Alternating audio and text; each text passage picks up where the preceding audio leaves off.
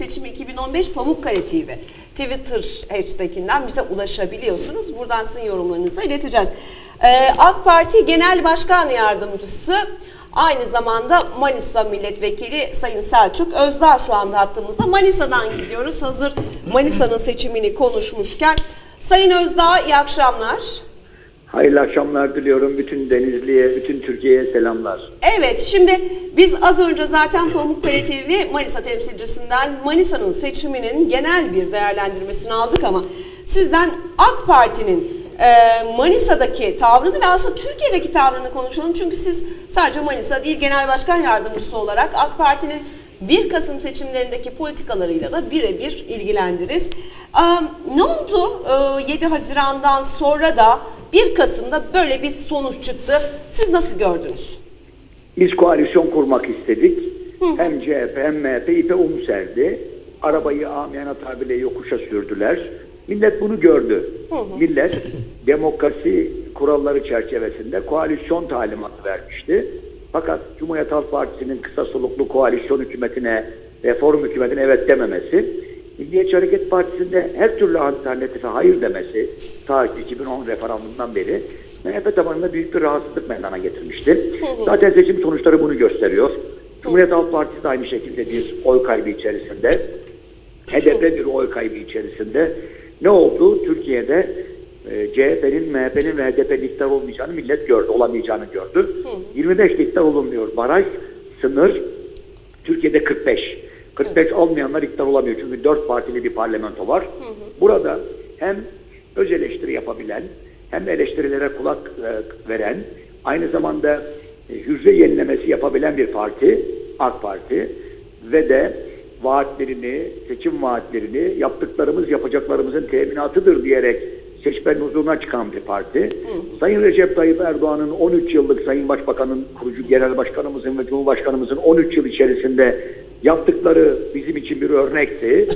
Vatandaş konusunda, vatandaş nezdinde bir teminattı. Sayın Recep Tayyip Erdoğan hem şeytan taşladı hem ibadet etti. Bir diğer yandan da Cumhurbaşkanı oldu milletin oylarıyla. Sonra da Sayın Ahmet Davutoğlu geldi. Egemen güçler Türkiye'nin büyümesini istemedikleri için teknolojik hamlelerimizi, tarımı, modern tarımla tanışmamızı hazmedemediler. Bunun karşılığında HDP'ye baraj yaşattırmışlardı. Biz bu seçime giderken de çok, çok ciddi şekilde vaatlerimiz oldu. Çiftçilerimize, kadınlarımıza, esnafımıza, öğrencilerimize, emeklilerimize, memurlarımıza, engellilerimize bunlarla ilgili yani toplumun her katmanına çok ciddi vaatlerimiz, sözlerimiz oldu. Her partinin sözü var ama bu söz veren çok önemli. Söz veren dün Recep Tayyip Erdoğan'dı, bugün Ahmet Davutoğlu. Bugün demokrasi kazandı Türkiye'de. Peki Sayın Özdağ, Sandık e, kazandı, millet iradesi kazandı. Yani şunu gördük, özür dilerim. E, demokrasilerde bütün senaryoları halkın yazacağını, yazdığını, bütün rolleri de halkın dağıttığını bir kez daha herkes hem dış, dış dünya hem Türkiye'deki vesayetler görmüş ve öğrenmiş oldular. Evet. Peki şunu soracağım. Şimdi AK Parti e, 7 Haziran seçimlerde halkın verdiği mesajı nasıl okudu? Ki 1 Kasım'a bu mesajı nerelerini düzelterek girdi? Artı bundan sonraki süreçte e, AK Parti 7 Haziran'da aldığı mesaja göre daha farklı bir e, politika koyacak mı ortaya ya da nasıl bir tavır izleyecek? Dünyada dünyada değişmeyen bir gerçek var o da değişim. Bu değişimi her an her saniye takip ediyoruz çünkü dünya her sabah yeniden kuruluyor. Güneş her sabah yeniden doğuyor. Biz dünyada her sabah doğan bir güneşin olduğu dünyada mutlaka ki değişimlerden de nasibimizi aldık. Öz eleştiri yaptık. Eleştirileri değerlendirdik. Hem listelerimizde bir değişim hem de aynı zamanda toplum katmanlarının arz talep dengesi noktasındaki taleplerini değerlendirdik. Bu talepler gerçekçi taleplerdi. Aynı zamanda bizim de vaatlerimiz gerçekçi vaatler, ayağa yere basan vaatlerdi. Millet CHP'nin vaatlerinin gökyüzünü vaat etse de iktidar olamayacağını, MHP'nin okyanusları vaat etse, denizleri vaat etse iktidar olamayacağını gördü. HDP'nin de Türkiye Partisi olmadığını gördü. HDP bir noktada PKK'nın siyasal uzantılığını özellik, tırnak içinde söylüyorum Kürdistan gibi Türkiye'yi bölmek, Türkiye'nin büyümesini geciktirmek için bir noktada görevli bir partiydi. Millet de özellikle Müslüman Kürtler bunu değerlendirdiler. Milliyetçiler milliyetçiliğin milletinden yana olmak olduğunu, aynı zamanda Türkiye'yi zengin ve özgür yapmak olduğunu idrak içerisindeler. 50 yıllık bir partinin mensupları Devlet Bahçeli'den rahatsızlar. 4 puan kaybettiler bize geldi. CHP'den yarım puan kayıp var. HDP'den aynı şekilde yaklaşık 2,5 puanlık bir kayıp kayıp var. Bunlar bize geldi. Ve biz aynı zamanda da sandığa gitmeyen AK Partilileri sandığa gönderdik. Rehaveti üzerimizden attık. Sorumluluğumuz vardı. Çünkü biz büyük ve güçlü Türkiye için yola çıkmıştık. Küçük ölçekli bir devletten orta ölçekli bir devlete gelebilmiştik 13 yıl içerisinde. Şimdi de Sayın Ahmet Davutoğlu ile beraber büyük ölçekli bir devlet, bölgesel aktör olmaktan çıkıp küresel aktör olma noktasında ileri adımlar atmak için hamleler yapıyoruz. Önemli olan iktidar olmak. Evet doğrudur ama daha önemlisi iktidar olduktan sonra bütün Türkiye'nin iktidar olabilmek, demokrasiyi, insan hak ve özgürlüklerin alanını genişletmek, siyasetin seviyesini yükseltmek, bütün CHP'lisini, MHP'lisini, HDP'ye oy veren vatandaşlarımızı kucaklamak, üniter yapıyı muhafaza ederek, demokrasiyi içselleştirerek Türkiye'nin zenginleşmesine katkıda bulunmak bizim görevimiz. Hedefimiz 2023. Doğacak çocuklarımıza 2053'ü ve 2071'i hediye etmek istiyoruz. Daha doğrusu bin yıllık vatan toprağını 3000 yıl sonra doğacak çocuklarımıza zengin ve özgür olarak Evet. küresel aktör olarak hediye etmek istiyoruz. Sayın Özdağ, e, Sayın Deda'nın size bir sorusu var. İlk önce Sayın Deda'nın sorusunu aktaralım. Selçuk Bey, şimdi e. tabii farklı bir çalışmayla e, ta 3 aşağı 5 yukarı 323 civarında milletvekiliyle iktidar oluyorsunuz ve e, HDP'de 56 e, sandalyeyle meclise gelecek. Meclise HDP geldiğinde siz mecliste HDP ile bir e, demin bahsettiğiniz gibi barış ortamında, demokrasi ortamında çalışma şartları oluşacak mı? Yoksa e, HDP'yi parlamentoda yok mu sayacaksınız? Hayır. HDP parlamentoda olur. Hiçbir partiyi yok saymayız. Ama HDP usluk değişikliği yapacak, dil değişikliği yapacak, zihniyet değişikliği yapacak. Bu zihniyet değişikliği şu. Türkiye'nin partisi olacaklar. Terörle aralarına mesafe koyacaklar.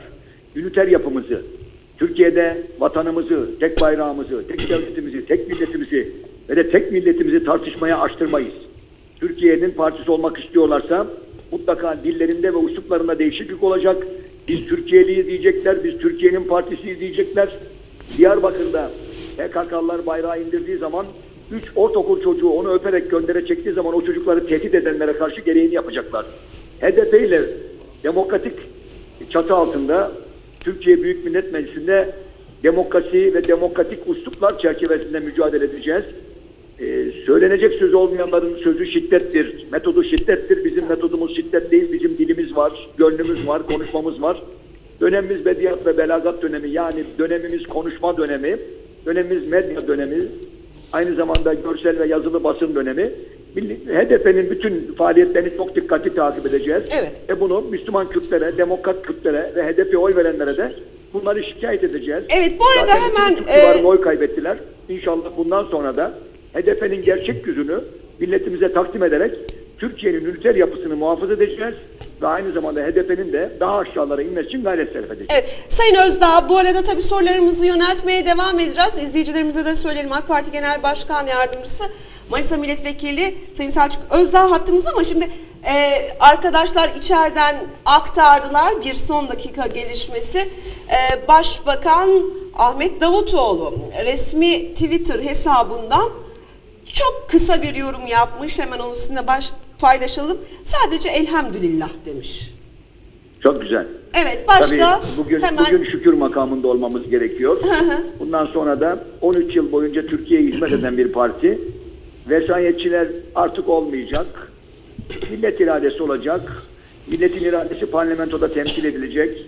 Muktedir bir iktidar olacak ve bu muktedir iktidar 80 milyonu etnik yapısına bakmadan, mezhepsel yapısına bakmadan, rengine, ırkına, e, dinine bakmadan, e, ideolojisine bakmadan herkes eşit kabul edecek. Birinci sınıf vatandaş yapmak için mücadele edeceğiz. Biz Türkiye'nin partisiyiz ve Türkiye'nin iktidar olmak için gayret sarf edeceğiz inşallah. Yunus Emre'nin çok güzel Evet. bir sözü var. Ben gelmedim dünyaya kavga için, benim işim sevgi için. Allah'ın evi gönüller, gönüller yapmaya geldim. Biz gönüller yapmaya geliyoruz. Sayın Başbakanımıza teşekkür ediyorum. Ben de biraz önce içeride onu düşünmüştüm. Şimdi şükür makamında olmamız lazım. Şimdi şükür secdelerinde olmamız gerekir. Milletimize çok teşekkür ediyorum. Milletimiz çok ferasetli bir millet. Evet Sayın Özdağ bu arada yüksek. Size daha sorularımız var. Var tabii. Evet siz biliyorum var çok tabii? heyecanlısınız ama ben süreyi de iyi kullanmaya gayret etmek Çok da durumundayım. Çünkü yaklaşık bir aydır günde 4 saatlik uykularla yaşadım. Evet, Aynı çok iyi anlıyoruz 9-10 sizi. konuşma yaptım. Hı hı. Ee, durmaksızın çalıştım diyebilirim. Durmaksızın Evet. çalıştım. O heyecanınız zaten yansıyor şu anda buraya. Var mı senin de başka Ha, sorunuz? Son sorum. Se- Selçuk Bey, tabii siz e, Uygar farklı bir politikacısınız. Sizi Manisa'daki çalışmalarınızdan Denizli sorumlusuydunuz. E, yanlış bilmiyorum da Denizli, Evet, Denizli koordinatör müydü? Denizli koordinatörüydünüz. Demokraside koordin. Evet doğru. Sizle e, Adem Bey'le Başbakan geldiğinde Tayyip Bey'de o zaman bir de röportaj yapmıştık. E, demokraside yenilikler ne bekleyeceğiz? Hukukta, demokraside farklılıklar var mı? Yani Anlayamadım toplum efendim, nasıl kaynaşacak? Nasıl bir birlik olacak? Bir gürültü var burada. Efendim? Selçuk Bey, toplum biraz gerildi. Biraz gerildik. Yani burada bir yumruk nasıl olacağız? Nasıl demokratik olarak birbirimize yaklaşacağız? Bu konudaki yenilikleriniz, farklılıklarınız ne olacak? Efendim Türkiye'de e, farklı fikirlerin olması doğaldır. Ama Türkiye'yi geren genellikle muhalefet oldu. Özellikle HDP oldu Türkiye'yi geren bir harçı olarak. E, bugün ortamda bir iktidar partisi olacak. Görev bizim.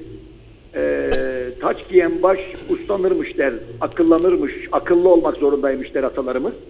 Biz taç giyeceğiz. Yani iktidar taçını giymiş olacağız.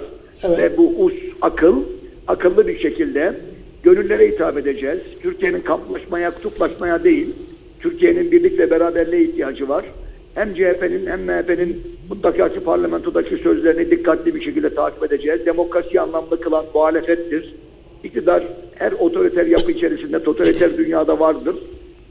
Bir yerde demokrasi varsa orada muhalefetin olması gerekir zaten gerçek demokrasilerde. Biz muhalefeti bize yapacağı yol gösterici hamlelerini, sözlerini mutlaka ki değerlendireceğiz. Evet. Parlamentoda, parlamentoya seviye getireceğiz. Sesin, sözün güçlü olduğu bir parlamento, eylemin değil, orada yumrukların, kavgaların, hakaretlerin değil, fikirlerin çarpıştığı bir parlamentoyu inşa etmek için azami gayret sarf edeceğiz. Bu bizim üzerimize düşen bir görev. Milletimiz müsteri olsun. Seçim kaybetmek zor. Ben Cumhuriyet Halk Partilileri tebrik ediyorum, MHP'leri tebrik ediyorum. Ee, demokratik, demokratik ortam içerisinde çok sağlıklı bir şekilde seçim yürüttüler. HDP'ler buna inanmadılar. Demokrasiyi içselleştiremediler. Bazı sokaklarında, bazı mahallelerinde maalesef başka hiçbir partiye tahammül etmediler. Onlara demokrasi içselleştirmeyi tavsiye ediyorum. Farklılıkları zenginlik kabul etsinler. Hiçbir kimse, hiçbir ırkın partisi olamaz. Kürtlerin, Türklerin, Çerkezlerin partisi olmaz. Partiler tercih edilirken sosyoekonomik ve sosyal kültürel yapıları nedeniyle tercih edilir. Bugün inşallah Türkiye'ye bunu sunacağız. Bunu sunmak için gayret sarf edeceğiz. Ben Manisa'da yüzde 45 civarında bir oyumuz var. Büyük bir başarı. Denizli'de bugün 4 milletvekili çıkarıyoruz. Daha önce dördümüz vardı sonra üçe düşmüştük. Denizli koordinatör olduğum için Denizli de benim için önemli. Ve ondan dolayı da ayrıca sevinçliyim. Denizli'deki milletvekili arkadaşlarımı, Sayın Bakanı, kardeşlerimi tebrik ediyorum. Şahin Tim'i tebrik ediyorum. Oradaki Sema Hanım'ı tebrik ediyorum. Çok güzel bir sonuç. Aynı zamanda Pamukkale TV'ye de çok teşekkür ediyorum. Sizler her zaman bizi takip ettiniz. Evet. Siz hem Ege bölgesinin, Denizli'nin, Manisa'nın ve Türkiye'nin televizyonu oldunuz. Ege'nin sesini dünyaya ve Türkiye'ye duyurmuş olmanın güzelliğini bize yaşattınız. Size de ayrıca teşekkür ediyorum. Bize desteğiniz için teşekkür ediyoruz. Tabii süremizi idare kullanacağız ama Sayın Erdağ da ben de bir merhaba diyeyim diyor sürekli. Bir Sayın merhaba Erdağ. diyeyim çünkü kardeşim. Evet. Evet. Ben soru sormayacağım ama hayırlı olsun. Ee, Manisa'ya tabii genel başkan yardımcısı olduktan sonra e, bir enerji, bir heyecan getirdiniz. Ee, onun için ileriki günlerde inşallah programlarımızda yine görüşmek dileğiyle hayırlı olsun efendim. Evet. Çok teşekkür ederim. Sizlere tebrik ediyorum. Türkiye'ye hayırlı olsun. Elhamdülillah. Çok teşekkürler Sayın Özdağ.